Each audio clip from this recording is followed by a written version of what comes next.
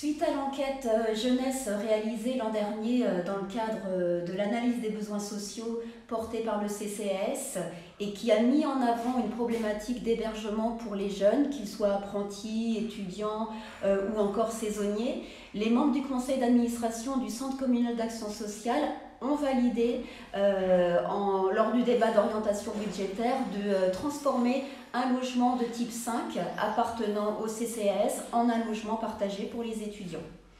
Et donc aujourd'hui, on est en train de finaliser l'installation pour pouvoir accueillir euh, dès la fin de semaine un premier locataire.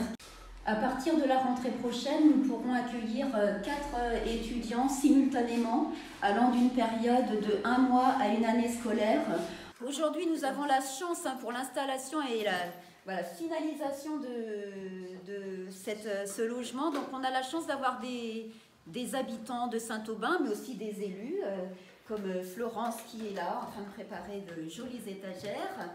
Donc Valérie Louvet, agent d'accueil du CCAS et parmi nous aussi, accompagnée d'Alexandre qui est en stage toute la semaine au CCAS, un stage de découverte. Donc Ici, un peu plus loin, donc euh, du meuble, à l'entrée, donc on a Angèle qui se cache dans le meuble.